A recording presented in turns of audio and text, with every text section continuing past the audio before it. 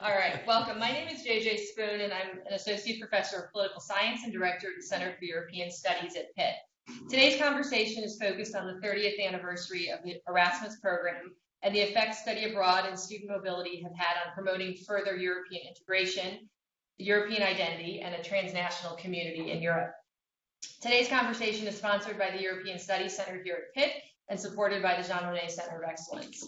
Our co-sponsors who are joining us um, are Florida International University's Jean Monnet European Union Center of Excellence um, and the University of Illinois um, at Urbana-Champaign. Uh, they're Jean Monnet Center coordinators. Um, thanks to Liz Shellen and Ashley DeGregorio for their help in organizing today's event. And just to put on everyone's uh, schedule, our next conversation will be the European nation state at a crossroads, nationalism and secessionism in Spain, Italy, and beyond. Um, and that will be on December 6th. All right, so to get started, um, the European Community Action Scheme for the Mobility of University Students, better known as Erasmus, was created in 1987 to facilitate the exchange of European university students across European countries. The program has expanded considerably over the years to include 37 countries, and as Erasmus Plus now includes programs that send students, teachers, volunteers, and those working in youth sports activities to other participating countries. According to the European Commission, 4.4 million students and nearly 9 million individuals have participated in the various Erasmus programs since 1987. In the 2013-14 academic year, um, and this is from the latest report available from the Commission, 273,000 students participated. Spain sent the most students abroad, and the most popular destination countries were Spain, Germany, France, the UK, and Italy. An impact study conducted by the Erasmus Student Network for the Commission found that students who study or train abroad are one half as likely to face long-term unemployment um, and that five years after graduation, the unemployment rate is 23% lower for Erasmus students than for non-Erasmus students. 40% of Erasmus students move to another country after graduation, compared with 23% of non-mobile students. And 93% of Erasmus students can imagine living abroad in the future, compared to 73% of non-mobile students. So that just gives you some of the, uh, a sense of some of the impact that Erasmus has had. Um, the Erasmus program has been represented in popular culture and in media. Most notably, Cedric Klapisch's 2004 L'Auberge Espagnole tells the story of a group of Erasmus students living it together in Barcelona. The online public forum Café Babel was founded by a group of Erasmus students studying at Sciences Po in Paris. Its goal is to provide information on current political and social events and issues in several languages, which now number six. It now partially is supported with funds from the European Commission.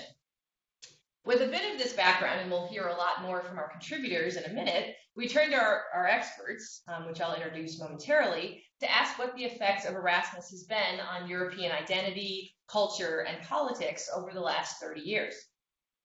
And now I'd like to introduce our participants. So to my, to my left is uh, Sabine von Dirke. Um, Dr. von Dirke is an associate professor in the Department of German here at the University of Pittsburgh. Her research emphasizes the discursive as well as aesthetic mediation of social, economic, and political material formations with special emphasis on narrative as a primary mode of communication across different media. Her current work focuses on the negotiation of the neoliberal agenda in German and European cultural discourse, with special emphasis on immaterial labor.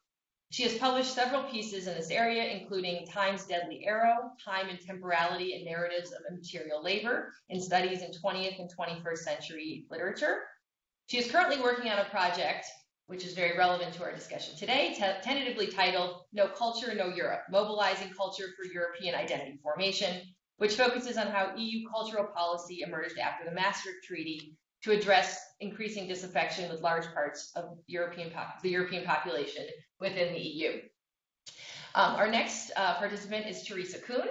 Uh, Dr. Teresa Kuhn is an associate professor in the Department of Political Science at the University of Amsterdam. Her research focuses on the relationship between European integration and the formation of collective identity. Her publications include Experiencing European Integration, Transnational Lives and European Identity, published by Oxford University Press, and Why Educational Exchange Programs Miss Their Mark, Cross-Border Mobility, Education, and European Identity, published in the Journal of Common Market Studies. In addition, she has published several other articles on European identity, Euroscepticism, and support for redistributive policies. Welcome. Um, our next uh, participant is Florian Stoeckel. Dr. Stoeckel is a lecturer in the Department of Politics at the University of Exeter in the UK. His research focuses on the formation of attitudes on European integration and international redistribution, and the misperceptions that citizens hold about politics, the processes that generate them, and how they can be corrected. His publications uh, include Contact and Community, the role of social interactions for a political identity, forthcoming in political psychology, and ambivalent or indifferent, reconsidering the structure of EU public opinion in European Union politics. He has published additional articles on support for redistribution and international bailouts as well. Welcome. Oh. Um, and finally, uh, Christoph Van Mol um, is joining us. Um, Dr. Van Mol is an assistant professor in the Department of Sociology at the University of Tilburg in the Netherlands. His research focuses on international migration processes, patterns, and outcomes, with a specific focus on intra-European mobility flows. His publications include Intra-European Student Mobility in International Higher Education Circuits, Europe on the Move, Academic Mobility and Inequalities, published in the Journal of Ethnic and Migration Studies, and The Reconstruction of a Social Network Abroad, an analysis of the interaction patterns of Erasmus students and mobilities. Uh, in addition, he has published uh, several other articles on European identity, mobility, and migration. So welcome to everyone. This is a great group of, uh, of uh, scholars that we've um, put together. And as you have just heard, we um, have several, uh, all of our participants have done quite a bit of work in this area. And so I'm looking forward to um, everyone's reflections on, on, on this topic. So I thought I would start by giving everyone a chance to um, sort of give us uh, your kind of um, overall impression of, of the Erasmus program, um, if you've had personal experiences, and sort of what your um, sort of initial interest is was in getting uh, and looking into questions of mobility and uh, student mobility specifically. Um, and we'll, we'll start there. Sabina. Um, yeah, I mean, clearly Erasmus was very successful now in streamlining the ability of individual students to go abroad within first um, the EU or EU uh, member countries. And nowadays, as you pointed out, JJ, um, you can go with the Erasmus Plus since two, 2014. In effect, you can go anywhere pretty much. And um, in comparison to when I studied in Europe, which is some time ago, um, this is a huge improvement. In particular, that you have the European um, conjunction with the Bologna process, the new European uh, credit transfer system, because honestly, when I studied there, you lost time going abroad, except for if you were studying maybe a language or literature, then you could integrate it. And so in that regard, I think this is a huge improvement over 30 years ago when going abroad, even within the European um, continent or borders, was highly problematic. Is it successful with respect to the overall EU idea that you can engender a European identity? I would say that's a much more complex issue. Mm-hmm. And maybe that question in that form is not the ideal question to ask because of the complexity of how identity is actually constituted. But I first give back to my colleagues. I'm sure we will return to this broader question. But undeniably so, it is a huge improvement the other thing I want to mention, I will get back to, yet, uh, to that, is um, you need to be also aware of the fact that only about 4% of the students studying today within Europe go via Erasmus to uh, another European country. And in addition to that, we might want to come back to the question of the socioeconomic differentiation. And there it might be interesting to look at different countries, how they fund their students, aside from the EU funding per se. But mm-hmm. having said that, I give it back to one of the others. Thank you. Uh, Teresa, would you like to give us your thoughts? Yeah, thanks. Um, so generally, I would say that I'm as such very supportive uh, of exchange programs, be that the, these now Erasmus exchange programs or other exchange programs already, uh, you know, taking um, place in, in high school, etc. I also personally participated in several exchanges, both as an Erasmus student, but also as an exchange student in the United States when I was uh, 15. Uh, I personally all enjoyed these experiences. Um, I think it has really um, enriched my life in a lot of ways. Um, however, I do think that the impact of Erasmus is somewhat overstated right now and over um, yeah a little bit exaggerated. So i think the erasmus ex, um, exchange program has all you know a lot of symbolic power. It's one of the things that comes to people's minds when they think of european integration and what it means for for european citizens.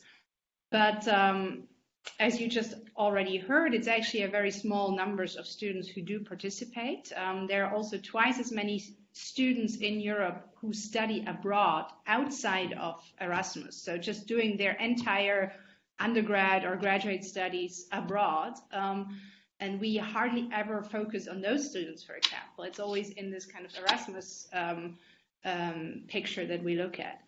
And um, what um, my yeah, basically the punchline of my research, research is that um, there is a big selection effect that it's not, you know, it's not Eurosceptic students going abroad and then becoming Euro- Europhiles, but it's actually students who are usually already more pro-European uh, who go abroad and then maybe confirm their existing, uh, you know, opinions and identities. And we see that even you know that there's even a huge selection effect into who goes into higher education already and this takes place very early on. So i think a lot of what we see of these you know very pro-european students i think it's, it's mainly due to to um, um, you know processes that happen in in, in childhood uh, youth but not necessarily in university.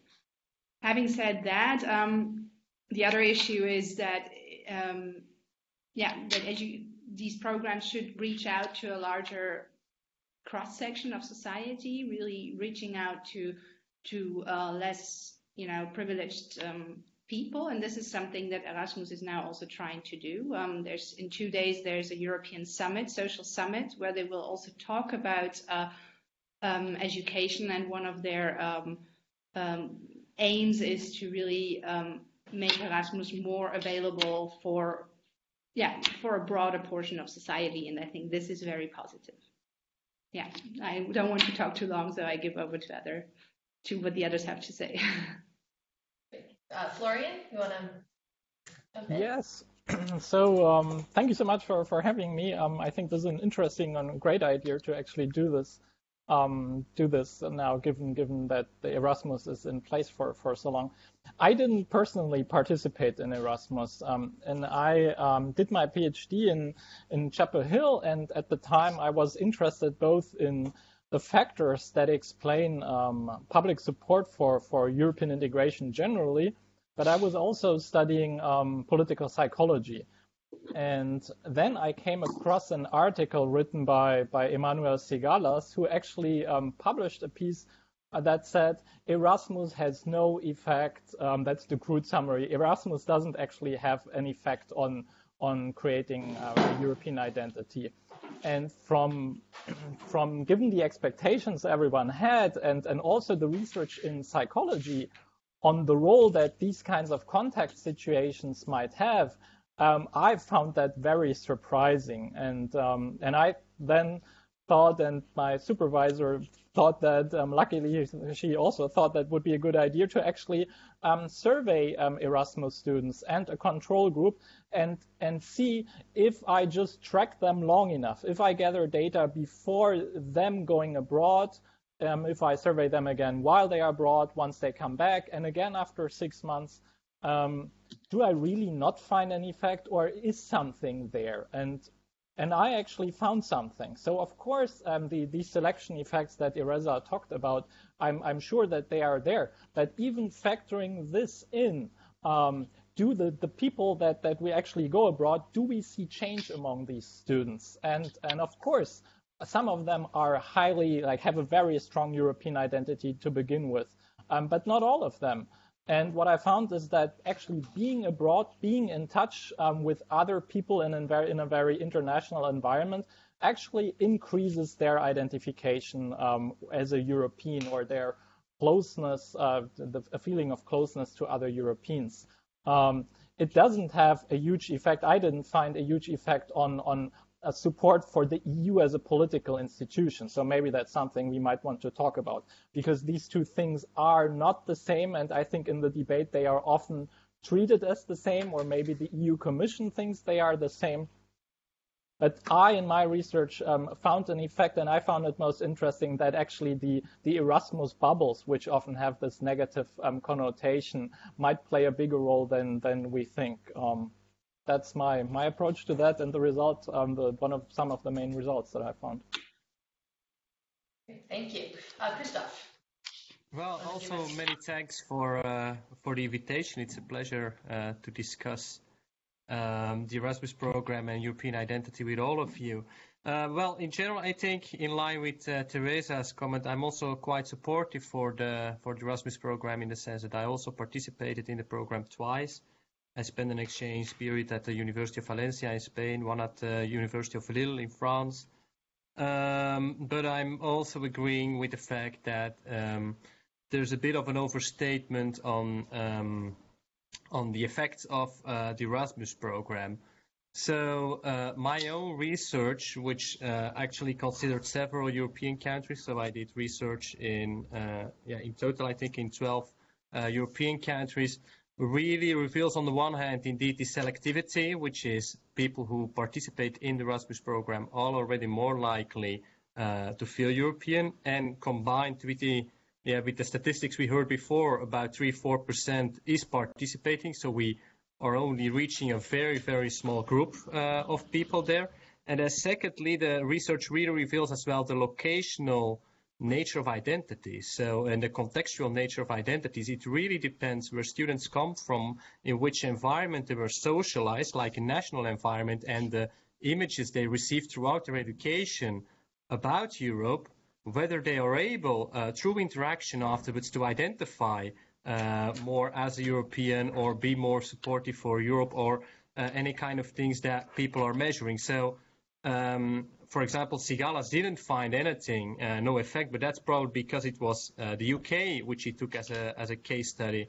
Uh, then Florian, he found an effect, but he only focused on German students, if I'm not mistaken. So these are like people socialized in a very specific environment. And then I was able to contrast different environments. And then, for example, you see that people in Northern Europe, they are actually unable to uh, adhere to something European because they're constantly classified by others as being non-European or being up there in the north, like in uh, in kind of the periphery uh, of Europe, and not really belonging uh, to Europe. For example, there is this uh, yeah, interestingly, the Norwegian students I interviewed, for example, they really pointed to me uh, to the fact that the euro coins, the old euro coins, they don't even have Norway uh, yeah, like presented on the map. So if you have euro coins in your pocket, you can check it, like the old euro coins. Norway is simply not there in the geography. So they're excluded, like also symbolically uh, in, in, in, this, uh, in this sense. And that really reveals that depends where they come from in countries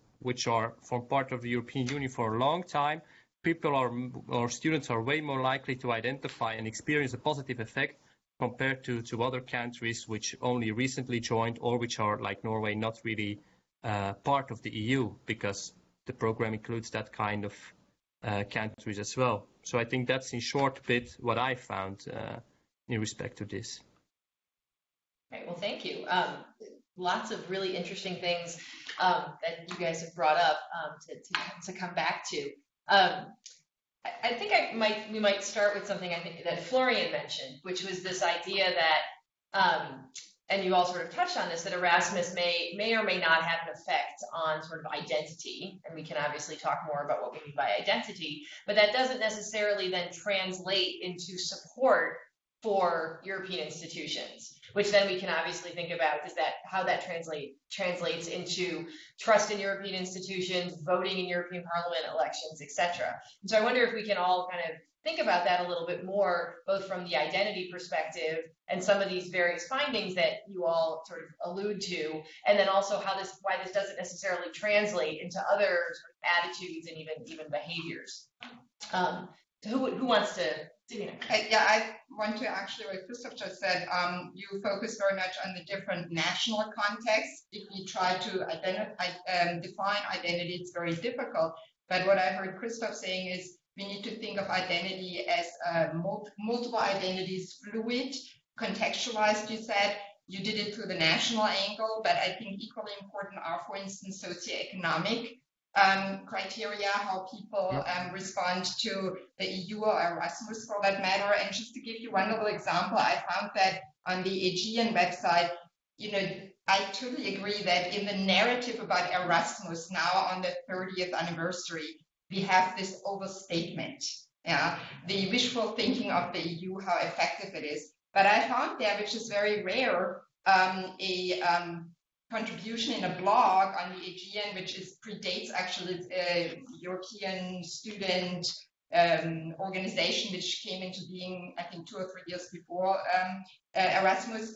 And she talks about her Erasmus experience. She's a young woman from Spain with um, one parent, a migrant, and she very clearly says, no, it was not really for me. You know, I, I just, just let me quote, as, stu as students, we have this idyllic idea of how Erasmus is. Every, everyone that you know has an incredible experience. Few people answer negatively to the question, would you do it again? I have now arrived at the conclusion that this is probably because A, most working class people still do not make it to university, and B, those who do it, like myself, probably never think of doing an Erasmus. And so she is an example of how a lot of students, even within the EU, socioeconomically are disenfranchised enough that they, even if they make it to university, can actually not fully participate in this glorious Erasmus experience.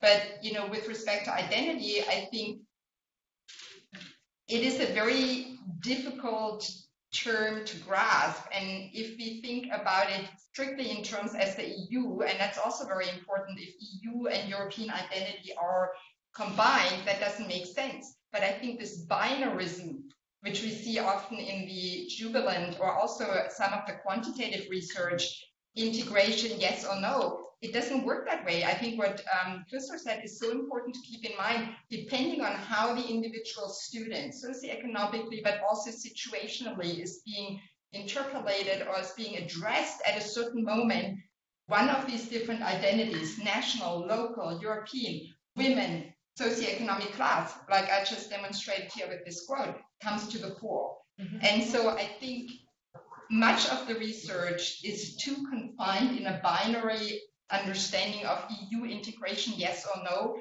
rather than thinking about it in a more complex manner. And secondly, I would say what the EU has not understood is that a lot of um, the disaffiliation of the younger generation has much to do with a disaffiliation of younger generations across Europe, even on the national level, with political institutions. But then the negative narrative of the EU institutions might be even more in their mind. So I think this is good to see that some of the younger scholars are starting to think through issues of identity in a more complex way. Mm-hmm. You guys like to jump, anyone else like to jump in on this discussion? Oh, I can say so. Teresa, do you want to go ahead? Teresa, why don't you go ahead first? Okay, thanks. Um, yeah, I think it's a really interesting finding. And um, I would say if we think of theories of, for example, political support, if we take Easton's concept of political support, then European identity would be more this, you know, uh, more general, long lasting, stable support uh, versus EU membership support would be much more output oriented um, and much more subject to short term change. So in that respect, I think it's it's good news for the European institutions if if at least EU identity is being generated because it's probably much more stable and and resilient in a certain way. I think um, if you also think of Euroscepticism, one one dichotomization that is very often made is between hard Eurosceptics who are just you know generally against the idea of European integration and uh, soft Euroscepticism, which uh, refers to people who are generally pro-European, who who are in favor of international cooperation, um, etc., but who have some criticism with respect to how European integration is going forward. For example, the neoliberal aspect, etc. Then I would say probably. Um, the Erasmus experience can maybe mitigate this really hard Euroscepticism and um, what we see is maybe um, yeah soft Euroscepticism, which as such is not so problematic for the European institutions as as a political system because they can they can deal with this kind of soft you know which is some kind of loyal criticism in a way soft Euroscepticism much better. So in that respect, I would say it's it's good news for the European institutions. Florian, what did you want to say? Yes, so um, perhaps I, I, start with a little um, reply to what what uh, Teresa and, and Christoph said with regard to their critical stance on on the effect. Um, so I actually went back to the SIGALAS results and reanalyzed them, and when I reanalyzed them, I actually find an effect. Um, and I oh. think we also have um, more papers, like more people who actually surveyed, like did these panel surveys within the last couple of years, and, and there are effects. Um, so I, I think at least it's not clear that there is no effect. I I think um, something is there, um, and and um, I actually uh, think this is this is good news. Now, um, whether it is good or bad to use these quantitative scales, um, whether identities can actually be put on, on this kind of measure, um, uh, I think this is also a bigger debate. I think we can learn something from it if we ask the same people the same questions again and again. And of course, I would love to um, have these students unpack what it means for them. But it wasn't wasn't possible. And if you want to do a, a panel with 1,200 Erasmus students, that's that's what I did. Um, that's just impossible. So I, I fully agree that we actually need both. We need like I think we need the quantitative measures, but of course it would be nice to to know more what it actually means for them and how whatever it means for them, um, how that changes over time.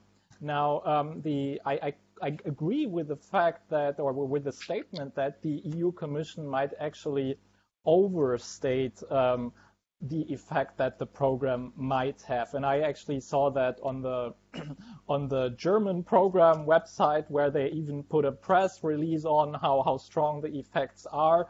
And, and given the debate that I know and that we have here, and, and you can witness some of this debate, I was surprised how strong this statement actually was. But at the end of the day, this is also part of a political process, and so I can I can see um, why this is necessary.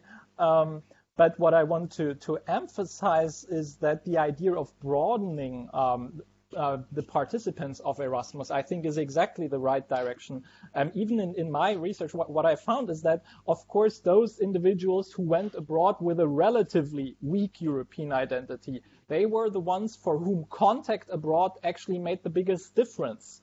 Um, and of course, if, if you go abroad with having a weak European identity, of course, there is just more room for change. But I think that's, that's telling in the sense that if you expand the program and include um, uh, individuals who, do, who are doing apprenticeships in Germany, um, I think this can also involve people who are working in public administrations, regional, local level administrations. You can have these sort of interactions. You can, um, you can create a program where um, people with all sorts of backgrounds go abroad.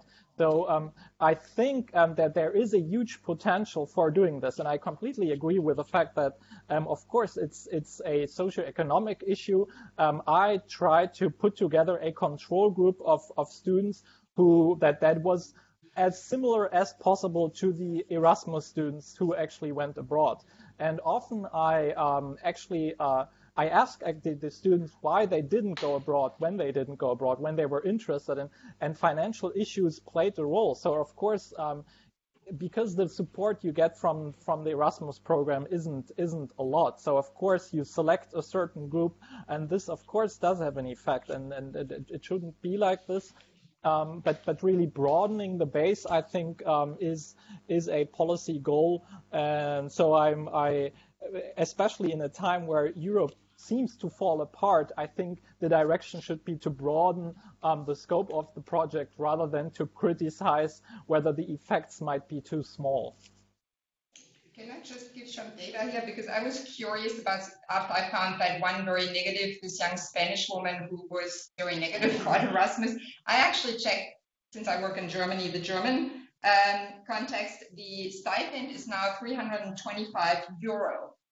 Um, I guess that's across um, the whole Erasmus program. And then you get $100, $100, 100 euro more if you go to London or so. But interestingly is, and that might explain also why the Germans are so gun for it, in addition to the socialization, Christoph, um, if you have BAföG, which is the federally funded um, loan program in Germany, if you are a BAföG uh, student, you actually um, can get up to um, 1,035 euros if you go abroad yeah. But this is a BAföG student, you know, and you have to pay back that loan. Um, but the interesting thing is with the 325 in Germany, the BAföG, that means the federal government says the minimum you need monthly in order to study in Germany, to feed, to house yourself, feed yourself, put clothes on your back, is actually 835 euro. So the difference between what the Erasmus gives is about 500 bucks, and that's a lot of money. So I think the socioeconomic issue is something which, for instance, no one talks about in the narratives of Erasmus, but I think that is also a very, very big issue. And I don't know how that correlates, for instance, with the what you call weak, you know, identification with Europe, whether anyone has done studies, I haven't come across it, to which extent, even within that select group of university students, there might be a differentiation which is not just national, but which is very much socioeconomic. Christoph? Yeah, here, but here we come again at the, at the selection effect. I think that that's very interesting indeed, and the Erasmus scholarship is very low. But if we look then to countries like Sweden or Norway, students they are allowed to take their uh, scholarship. Well, they're actually funded by the state for being in higher education, so they get uh, quite some money every month from the government for studying. And also over there, we still see that these people from lower socioeconomic backgrounds they um, do not participate. Well, there is an underrepresentation of uh, students from lower socioeconomic backgrounds. So that creates the question also like uh, of causality, no? Again, like, is it because people feel uh, more, is, is it really because of socioeconomic status or do they want to participate because of feeling already more European? So that's, well, it, it always get back to the, to the phrase Teresa used in her paper of, is a program not like really preaching to the converted and no matter what you do in terms of increasing um, increasing the funding, there might be like some uh, a certain yeah, solid body of students who really do not want to go abroad. And do we really need to encourage 20% of students to go abroad if we know that in general only 3% of the world population wants to be mobile? So no, but that's it's like that we have these ambitious benchmarks, but we have these ambitious benchmarks, but I think it's it's really too ambitious because people generally are sedentary in, in, in their nature. It's only a minority. Also, if you look at the international migration numbers of people who really enjoy being abroad, it's a substantial number if in absolute numbers, but like the relative number is, is quite low. And it raises all kind of ethical questions as well, I think, like do we really need to promote it strongly? Do we really need to make it obligatory as it is happening now at certain universities? And these people from so lower socioeconomic backgrounds, they're actually pushed uh, in participation, which makes them uh, get an extra loan, which they have to pay off for the rest of their life. So there's a lot of things going on there, like in, in the sense of, um, uh, is it really so necessary? Teresa, you want to yes, um, I mean, I, I, I really agree with the point that Christoph just made. I think um, we should also, I think it should also be legitimate to say, no, I don't want to go abroad and I don't want to participate in this whole Europeanization of of our um, environment. There's also um, a very interesting uh, uh, argument um, made by scholars who I will remember afterwards, and I will tell you the name now. I'm just forgetting it. Who say that um, European citizenship, which is based on mobility, right? It's uh, it focuses very much on free movement, creates basically um, a concept of European citizenship that if you don't, if you're not mobile, then you're not a European citizen. Um, and this, of course, again excludes certain people who either cannot or do not want to be part of this. And this can also really create this backlash that we are currently seeing of Euroscepticism. You know, that some people think, yeah, sorry, but I'm I'm happy with where I'm living. I like my local bakery and pub, etc. And now here come all these initiatives that that kind of push me to to move, to travel, and I'm I'm not happy about this. So so this might really react, you know, be counterproductive. And I don't, I mean, I don't disagree with Florian that um, these Erasmus programs and similar programs can have an effect. But if we actually take together the selection effect that we kind of all somehow um, observe, and then this kind of reinforcing effect that is happening during the Erasmus experience,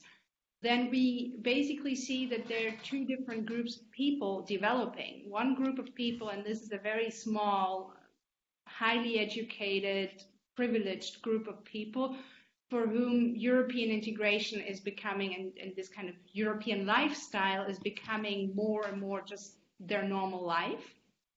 And this is creating some kind of bubble um, versus, you know, the more, uh, you know, the, the, broader majority who who stays put in their national or me, maybe even very local context and who doesn't uh, you know co- um, uh, cooperate ac- uh, across borders and I think this is a bit what we are currently experiencing that if you look at Brexit, if you look at um, you know other populist movements, etc., for most people with a higher education background who have been traveling, etc., and living abroad. This is, you know, nobody actually believed that Brexit referendum would, you know, have this outcome as it has now.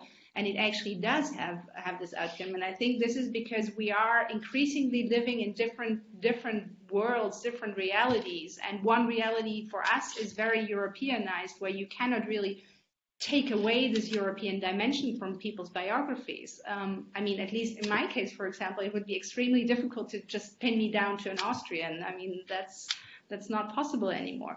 But I think for the majority of people, this European lifestyle is just not there.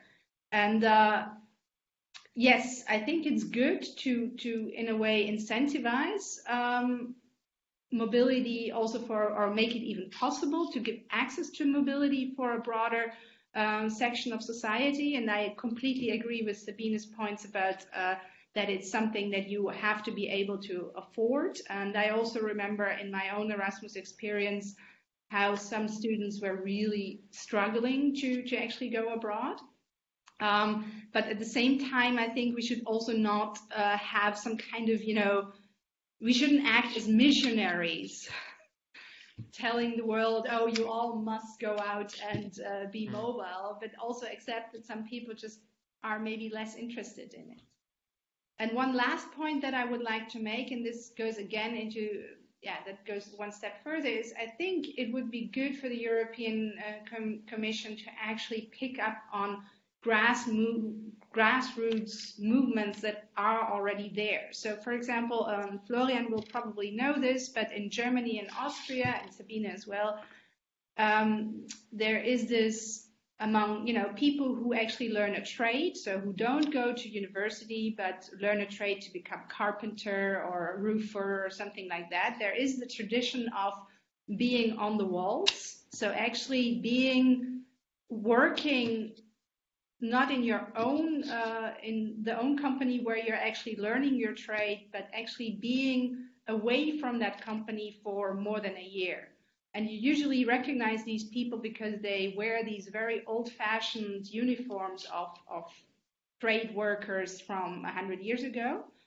Um, and I looked up their their um, websites, and they really make a pledge that for more than a year they will actually not work at home, but actually always work somewhere else, up in a different town and you know also maybe um, um, you know stay at at the house of the company owner there, etc. And I think this is something that the commission could pick up. You know, it already exists. It's really targeted at a, a group of people that is not going to university and just add one European dimension to it and say, okay, yeah, you already have this network, you already do this, so why don't you not only do it in Germany and Austria, but maybe you know go up across the border to Poland or to the Netherlands?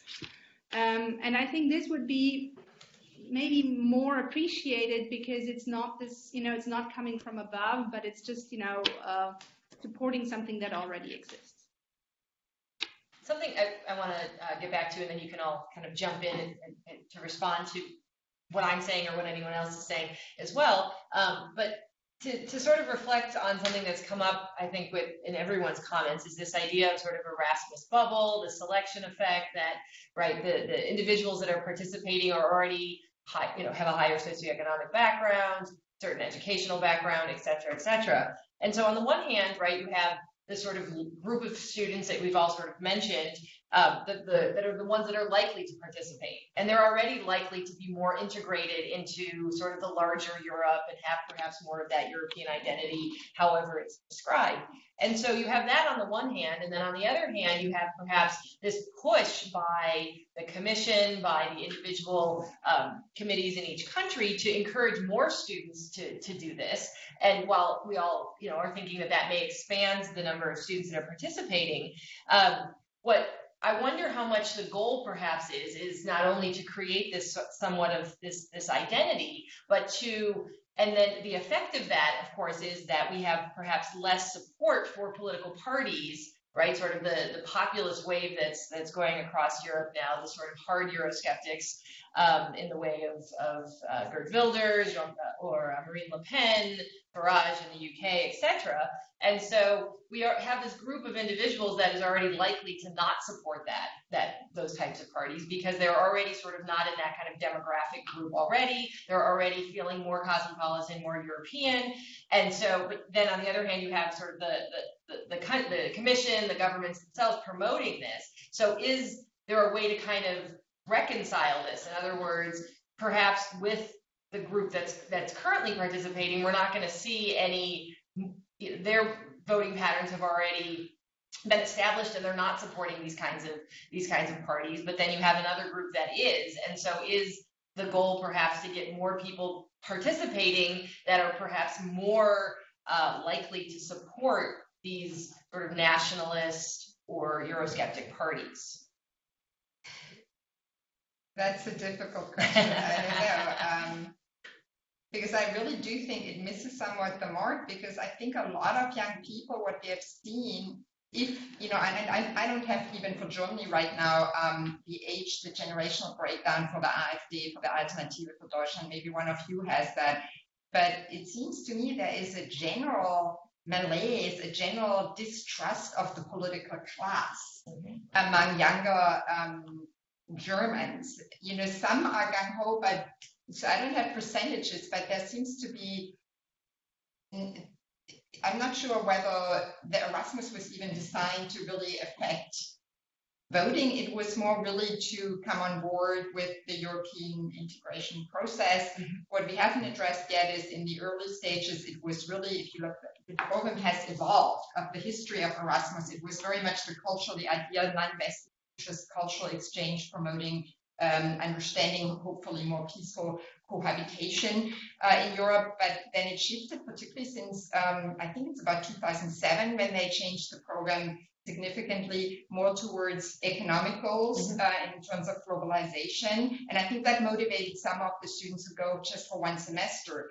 because now, I mean, I, we haven't talked about that, but the majority of the students go for one semester. And I would say that's a very, very short period of time. We are talking four months abroad. And that does not give you enough time to develop the roots in individual interpersonal contexts um, in order to re- really um, develop a strong sense of this other locale as a second home within mm-hmm. Europe. But so I would say, I, I don't know, I don't see that direct effect on the voting, but more alongside the cultural policy of the EU, we have a shift towards uh, the economic becoming Europe a competitive labor force in under the pressure of globalization. Mm-hmm. You know, so but I don't know. Does any one of you have data on how it breaks down? You know, in terms of generations who votes for these right wing populists within Europe? Well, for example, for um, for Brexit, we know that the younger generations were actually mo- much more likely to vote for to remain in the European Union. Correct. Yeah. Um, and in general, um, there's quite some data that shows that younger people are actually more pro-European and more, you know, open towards it. That's what I thought. Um, I think with the voting behavior, I don't think it is really a, a direct goal of the European Commission. At least I have never seen it in any any one of the policy documents. And the latest documents I have seen are actually in preparation for the European Social Summit that is um, taking place in two days. And there, there, we're focusing again very much on European identity, which did surprise me because, as you said, Sabine, we saw a move towards much more, okay, employability, uh, labor market, mobility, etc. But they seem to be now more, again, focusing on this cultural aspect and the identity aspect. But however, what we do know about voting behavior among mobile people is that a lot of them, of course, don't vote because they have to vote from abroad. Um, they're often not registered where they're supposed to be voting, etc. So it makes it all a bit more difficult. They also sometimes become detached from uh, their communities.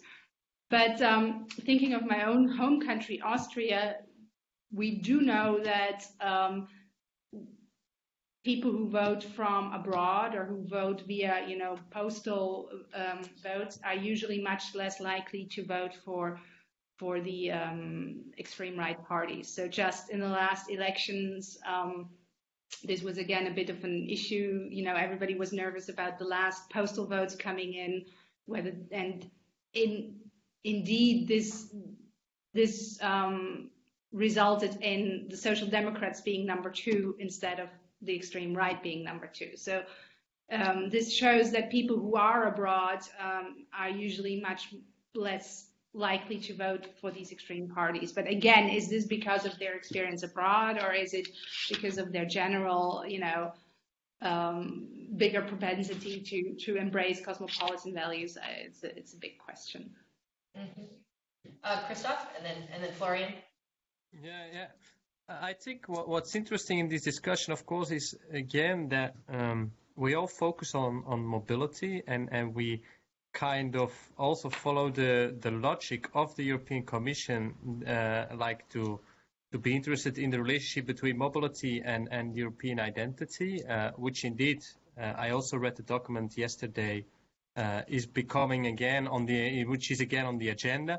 Um, but uh, I think like isn't the way forward maybe to really focus on um, the same for the for the programs you you mentioned, Teresa, to focus on best practices for interaction with those who do not move, because actually a lot of money is spent on uh, on promoting participation and on creating European identity in that sense because of the participation and the socialization. But actually, there's not a lot of attention, or at least not in my opinion, to what are good practices to put students uh, who are not willing to be mobile into really like profound contact uh, with those who move. I think we, we also talked before about the Erasmus bubble.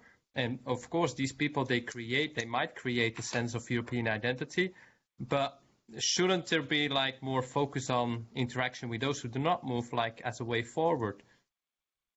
Just um,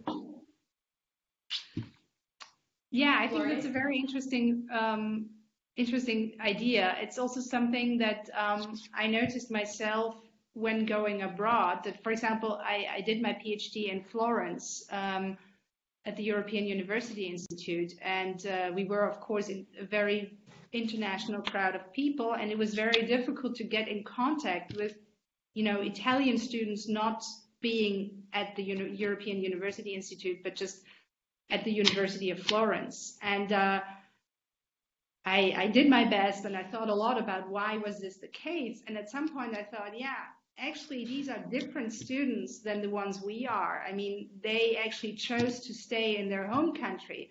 And whereas a lot of Italian students choose to go to London and, and pursue their studies there or to another, you know, do their entire studies there. So I thought, yeah, it's, it's, it's in a way understandable that we have difficulties getting in touch with with these local students because they are in a way um, choosing a very different life than than you know this very international group of students that we are that we were at the EUI.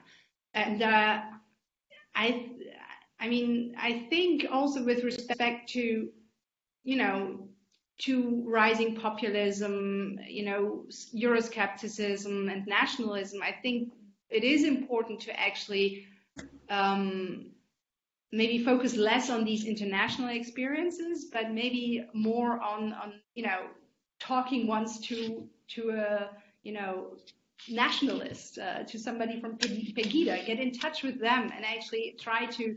I mean, it's hard to understand everything, but you know, to to kind of at least have empathy towards some of these arguments. And I think there we are very much getting into different, again, into different bubbles that are maybe not so much nationalized, but much more uh, along socioeconomic um, lines. And, and one point that I would like to make about, um, again, the selection effect. Um, I, am very uh, sympathetic to Sabine's uh, proposal to give more money in order to uh, support uh, uh, poorer students, but at the end of the day, students, university students are a pretty privileged group of uh, of, of, people, and I'm just thinking of the typical, um, you know, Eurosceptic person who then here, who maybe has not had a, you know, very privileged life herself, and then hears, oh, and now, you know, these these rich students get even more money to actually go abroad. Um, so this might again create some kind of backlash. Um, and um, I'm currently doing a study where we look at, at panel data, um, looking at students from the age of 13 until they're 30. And what we can see uh, there is that these educational differences in Euroscepticism um, exist already at the age of 13. So um, already then we see that people who will later on not go to university are much more likely to be Eurosceptical than um, people who will actually go to university. And we don't see an increase in uh, in this difference. So it actually shows us that this sorting into, you know, pro-Europeans who will actually go to university and Eurosceptics who will not go to university happens at a very early stage in life. And it's very much predetermined also by uh, parental background, so whether your parents went to university or not, and what your parents think of European integration. And um, so again, here I think if there are these mobility programs, they probably should start very early, or if there are, you know, um, um, other initiatives to kind of tackle these differences in attitudes towards European integration, they probably should start out uh, at a very, you know, you know, address really children already. Yeah. So I think what we're, we're hearing, which I think um, is is true with many things, is that this is a much more complicated um, uh, dynamic, right? It's not just necessarily about sort of age and socioeconomic status, but it's also about how you were raised and what your parents situation was as well in terms of thinking about those that are you know more primed to already be interested not only in university education but also interested in sort of a more international um, outlook as well. Um, and so it's and i think this is really interesting this this study Teresa that you're that you're conducting now that it's going back to a, a time when uh, you know, effectively, you know, individuals are still children and they're still very much influenced by their you know the socialization of their parents and their communities and things like that and how that's almost sort of you know setting them up to then be you know either heading in towards university and then be interested in sort of then taking the next step and going abroad. And so you know what's what i think that says is that if we want to create you know a larger sort of erasmus uh, community that we really need to go back to you know elementary school really and start thinking about sort of how um, you know, students are being, uh, how Europe is being discussed and, and, and, about sort of the international community and really trying to overcome some of these you know, selection effects that we've all mentioned in terms of, especially when it comes to sort of parental background and education and socioeconomic status, like that. I want to give Florian a chance to, to respond to, to all of these things since we, Oh, we keep all passing over. I apologize. I, I certainly won't react to everything, but, but I do want to say a Yeah. few things with regard to, to the issues that came up. So first, um, the, the Brexit referendum came up, and the fact that, that young people um, are particularly pro-European. Um, the problem with young people in Britain was that they didn't turn up um, and, and voted uh, for. So um, I think um, that that um, and I that's just like a hypothesis. If more of them had been abroad and knew about the um, benefits, maybe they would have made the decision to actually participate in the process. But um, so what, I wanted to say in, uh, with regard to this issue of a widening gap uh, between individuals who might be already pro-European or more cosmopolitan to begin with, and those who who are not. And and and I, I had the impression that there is this argument actually because they already have those views, we don't need to uh, do so much. We shouldn't spend taxpayer money on it, and so and and I really don't think that in this time we can take anything for granted. So I don't think that um, just because we have individuals who might be a little bit more pro-European, pro-European students, that uh, not giving them the opportunity to go abroad or facilitating um, these these uh, these study abroads, um, that uh, this this might be a good idea. I think. Um, and uh, I'm, I'm saying this in particular because there is often this criticism that only political elites are pro-European, that it is only the parties who push for, for that uh, political project of, of Europe. And I think we need more than, than just some parties uh, saying this. I think uh, we, we need um, more people um, who experienced or who, Europe in, in a very personal way. And I think um, Europe shouldn't be just about creating this market and, and decreasing roaming um, charges. This is all great. But I think actually that, that it is part of the project to also make it possible or to also create as many interactions between the citizens.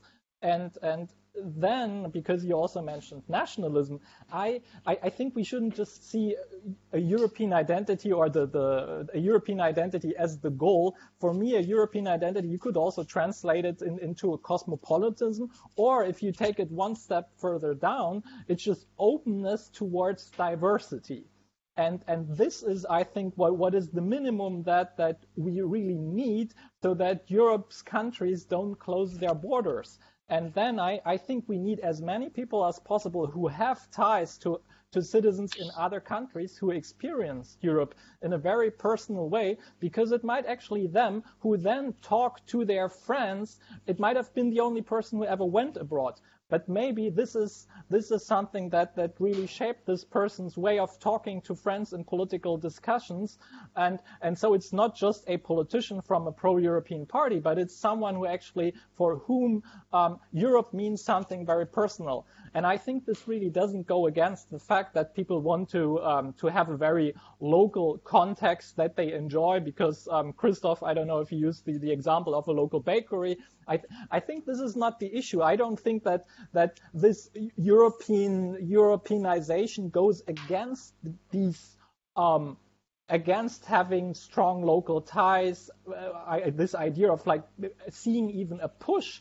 Um, I, I don't think we should think of it this way. I think Europeanization in, in this way means um, creating citizens or, or creating a situation where citizens are able to see individuals in other countries as peers, where they're not foreign, they're just like me, they just happen to live in another country. And, and this is, I mean, given the history and the nationalism in Europe, um, I think um, we need everything, we need to do everything we can in order to, to help, to help this pathway. And finally, I wanted to say something um, with regard to actually other groups of people um, with whom we should get in touch. Um, there are already lots of people who are abroad and they are not students. Um, here in the UK, there are lots of workers who come to the UK um, because they need the jobs here and to, who are not connected to universities. They are not students. Um, they are not part of the Erasmus program. And, and there is very little interaction. There is even very little research on it. And, and I think this goes back to a point that Christoph made um, at the very beginning that um, people from different countries might be treated very differently and being abroad might mean very different things for different people which has to do with with social uh, social status and how how individuals might be integrated in their host societies so um, that's that's a whole other issue um, that that we didn't touch upon since it's about Erasmus, completely understandable. But there is more going on with regard to just European migration. Um, yeah, to the Erasmus, um, we talked about the old Erasmus, the Erasmus Plus, which is in effect since 2014 through 2020. Uh, it is important to re remember that with the Erasmus Plus, for instance, administrators in, edu in educational institutions have opportunities now. And also the, what was it, Leonardo da Vinci was the, what um, Teresa addressed was the vocational training or education aspect of it has been integrated. So I think this broadening is happening that we don't see any researchers in some ways logical because we always run two years behind with our data, right? Um, it's just too new. But so I think that, and I agree also with what um, uh, Florian said, it's important to keep this going. But what I want to um, share with you is an observation right now in our, our conversation. We have more and more slipped towards, JJ, you did that, from Europeanization or European to cosmopolitan. And I think Florian, uh, Florian's pitch right now proves my point that I want to make now is I think for a lot of young Europeans, Europeanization as a lived experience, traveling in various forms, uh, trans-border um, uh, cultural activities, etc., is a lived reality. This lived reality is very different from the top-down EU understanding of European identity. So I would agree there is a strong um, European identity among young Europeans. Then they thought, well, that's because they grew up that way. I mean, look at yourself when you were born. I mean, I'm so old that I remember when the first European parliamentary election happened. That was a big thing. We were enthusiastic, particularly if you grew up in the southwest of Germany, like two hours from the French border, an hour and 10 minutes out of the TGV to the Strasbourg, where, uh, where I grew up. But so I think it has, it's normal in some ways for, for young Europeans to be not thinking much about Europe. And I think that most of the younger generation, and that's where we all slip up with cosmopolitan, they have a very cosmopolitan perspective. Yeah. And uh, not all of them, but many have that, particularly those who had the opportunity to participate in various exchanges or also just travel. Yeah. So I think a lot of times it seems to me there's a generational split between the upper echelon, somewhat older in the EU, who are very Eurocentric because I'm talking about the generation now, you know, born at the end of the war through the 60s, who have a clear memory of the process, the um, uh, the long history of the European integration. And I'm not kidding you. I mean, we were enthusiastic about that. Finally, you could vote for European Parliament. You guys don't even know that. but initially the European Parliament was really just a little joking funny little place you went visit, but had no power. So I think that one of the issues I see also is, and that has not so much to do with Erasmus, but is a generational split between, well, we have a much more cosmopolitan um, view, and this is borne out in some of the research I just started on this initiative, A Soul, of, um, a Soul for Europe, um, where the older generation talks in very affective terms, soul and Europe and European values, and the younger generation involved there, the strategy group, these young people, either they are very much on board with the neoliberal regime, you know, so they use it as promoting their professional careers, why not? Or they have a hard time to really speak about Europe. They talk about opening, you know, we need to open to Africa, we need to be cosmopolitan, or what Florian just said, this idea that we cannot have the Festung Europa, you know um, so i think that that plays also a role but again i still think yes Florian, you're right we should not even if the eu overstates it we should not give up on these programs and clearly there is a political uh, economic issue the eu or those people who when the pot is divided, who want to have more funds, of course, need to overstate the effect, you know, of um, Erasmus in order to get, get the pots um, full again. But um, I, I, also think that uh, it really did have a little bit of an effect, but not in the sense of EU integration, but more a normalization of, yes, I'm European. And again, I come back to that, and I guess uh, Christoph will second me there, depending on how you are dressed, there are moments when I'm traveling where I feel very European, although I have lived for longer in the US now than in um, Germany or in Europe. And then there are moments where I feel in Europe very American. So it depends on how, what's the situation. But I think the generational split I see is becoming more pronounced. And for some of you, Europe is a normality. And I think some of the EU upper echelon of a certain generation doesn't seem to, you don't speak the same language. They don't speak the same language. Mm-hmm. They want to circle the wagon. Mm-hmm. They want to get us all on board, the young people, rather than understanding that this younger generation of Europeans is, and I know that's right, the right wing populism, but is very cosmopolitan in that perspective, also through popular culture. But I do think that, and uh, we'll get to you, uh, Christoph, in a minute.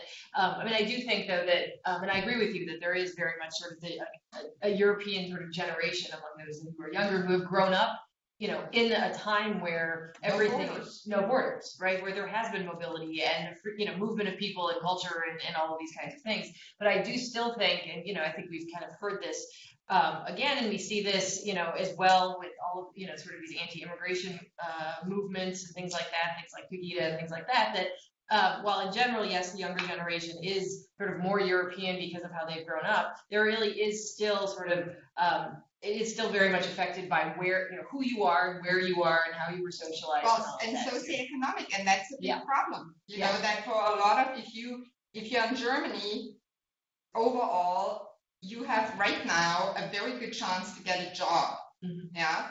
But if you're in Spain, it's a very different issue, and that that can be exploited. And one thing we haven't talked about that is the mediation of Europe to the media and that happens often in a very nationalistic way mm-hmm. you know so you know this is something we haven't talked about but particularly for what christoph said those europeans who do not want to be mobile you know the imagined community how's that talked about and we know there's a lot of bad press for the eu mm-hmm. and that shapes also people's mm-hmm. perception of this community in which they might not partake through mobility but which they are part of mm-hmm. who would like to jump in Teresa.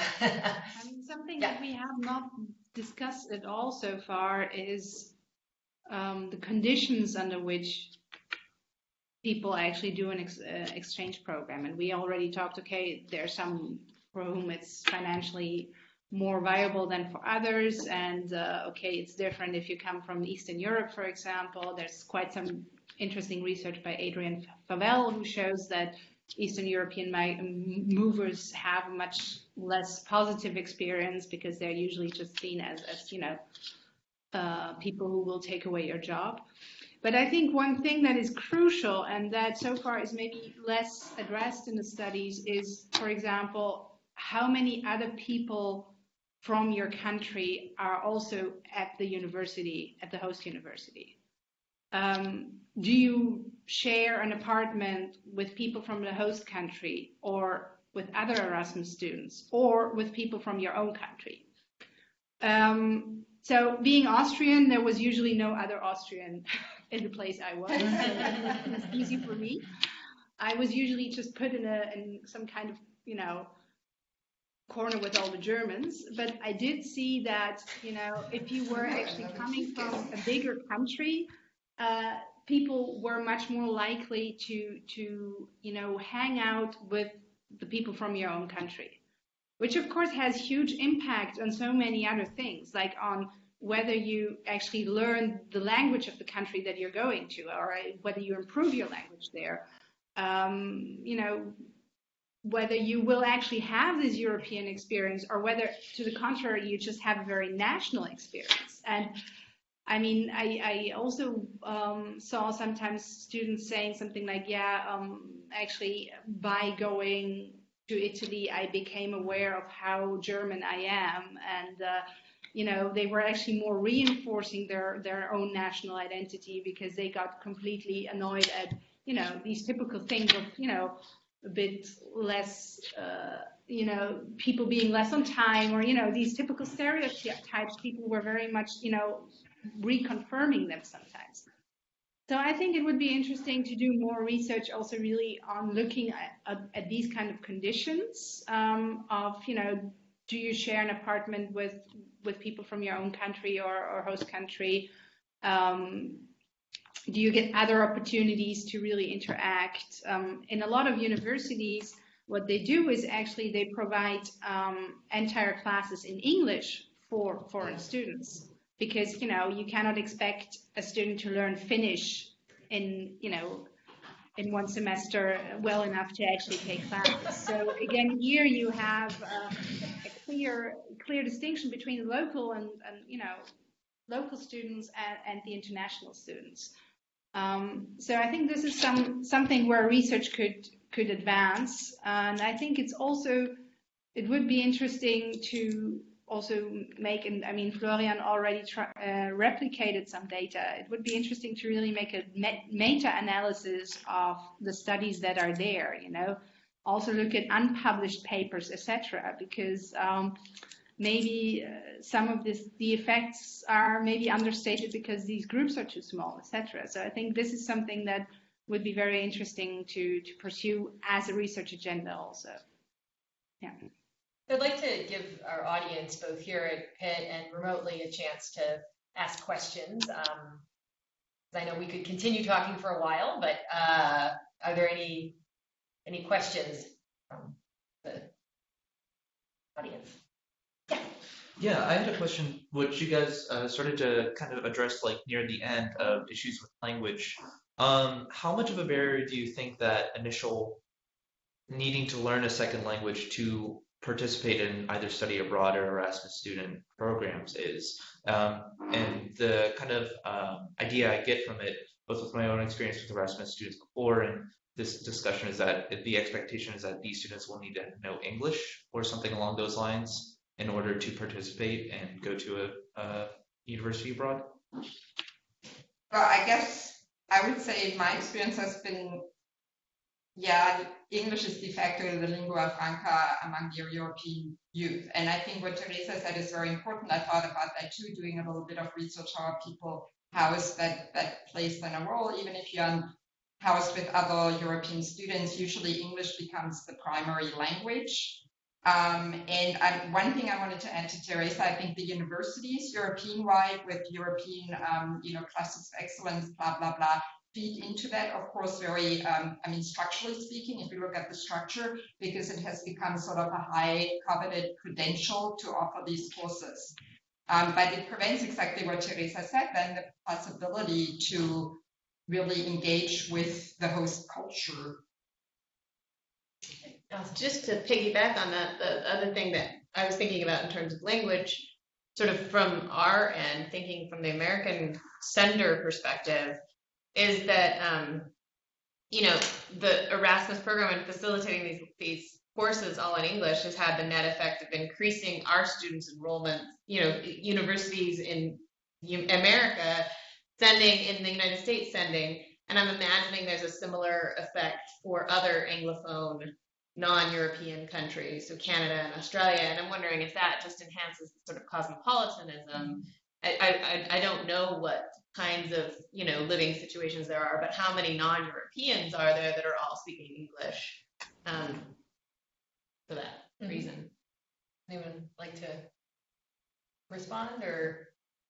I don't have hard data, but you know, more anecdotal evidence. The German universities, whether in economics or political science, even in English departments, would teach the majority of their courses in the 80s and throughout the 90s in German. In the 2000s, we see, particularly economics, political science, um, enormous numbers of courses taught in English. The argument being, of course, also that these uh, young Germans need to hone their uh, English in professional English. Teresa? Teresa?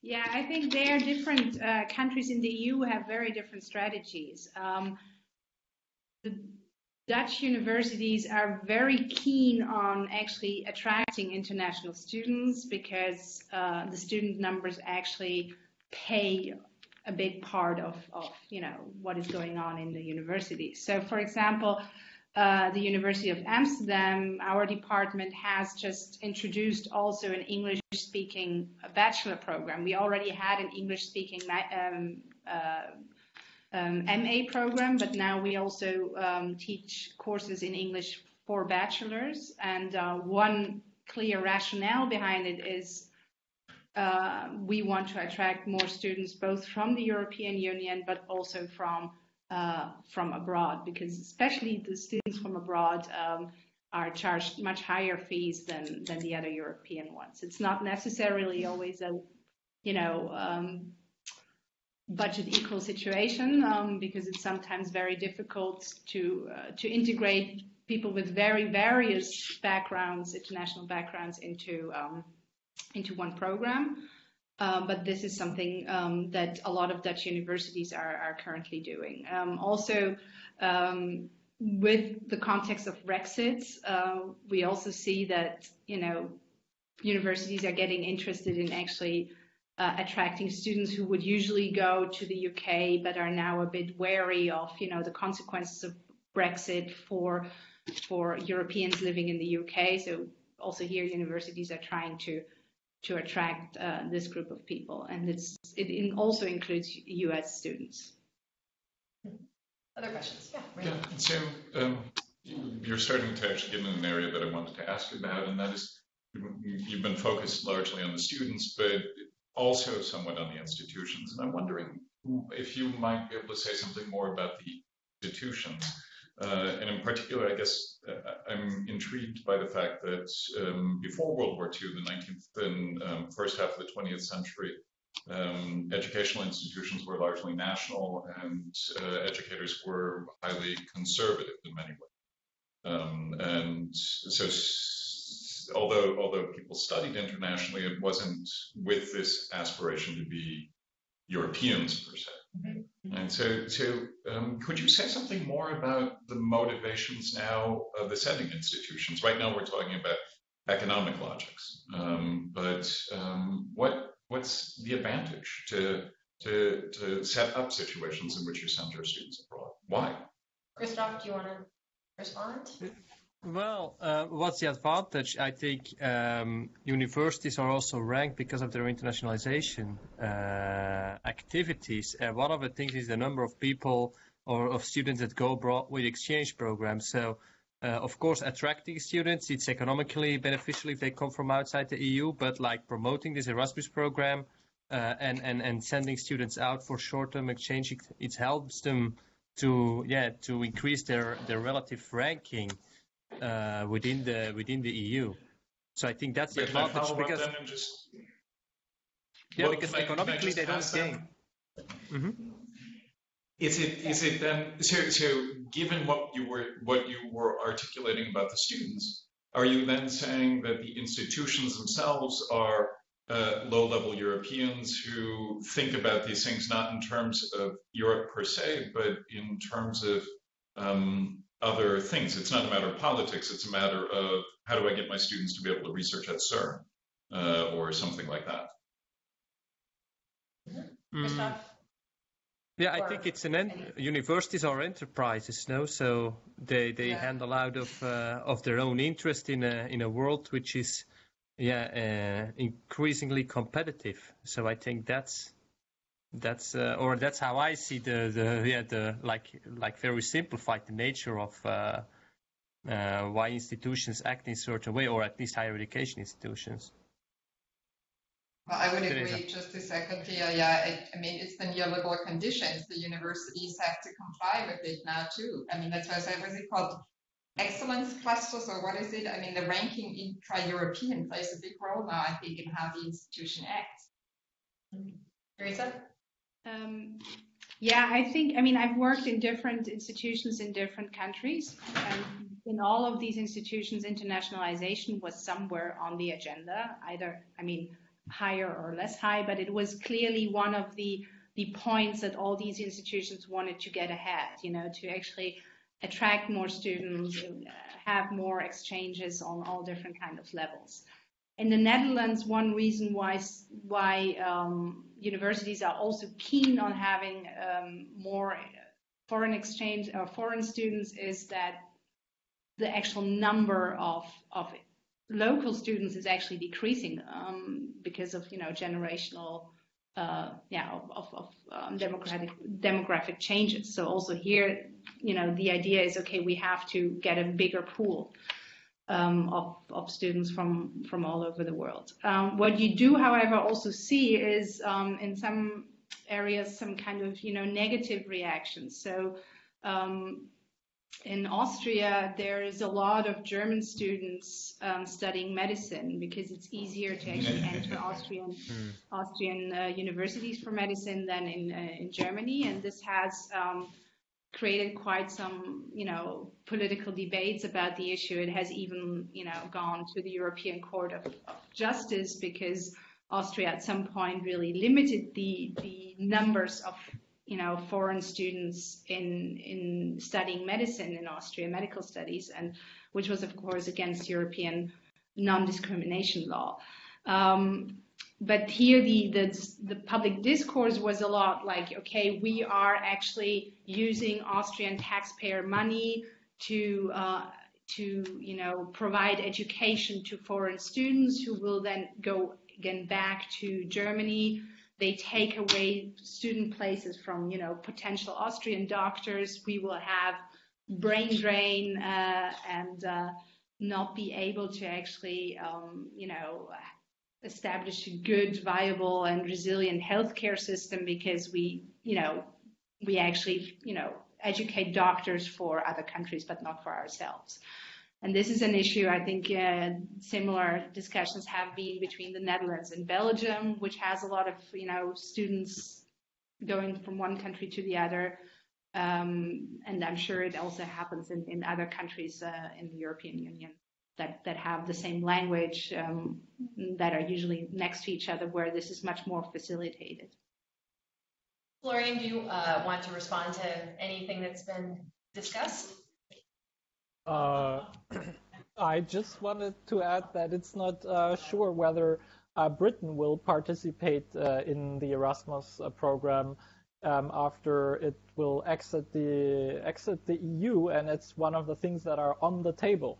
So it's not clear what the situation is, and I think that's quite something. So it's some of the things that uh, it's one of the things that uh, Theresa May mentioned in her speech in Florence that the UK might actually um, want to participate in programs that are mutually beneficial, and Erasmus might be one of them, but it's not clear. So this is um, quite something that's, I think, meaningful for, for um, at least here for, for the situation in Britain.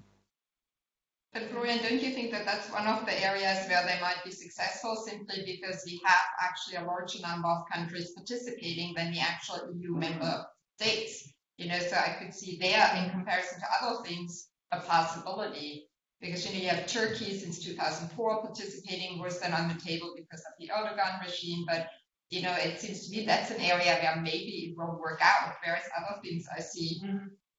More problems. Or let's hope for the sake of the young British people yeah, I completely agree. But but this is why I was surprised to find, and I checked it before for before this roundtable here.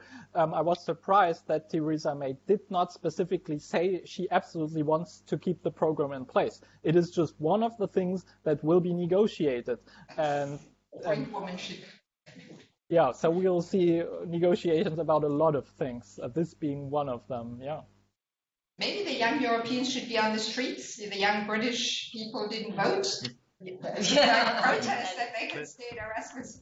Yeah, that's very true. Well, we're just about out of time. I would love to, I know there's lots more to discuss, but I think uh, um, uh, I want to thank everyone, uh, participants for um, participation.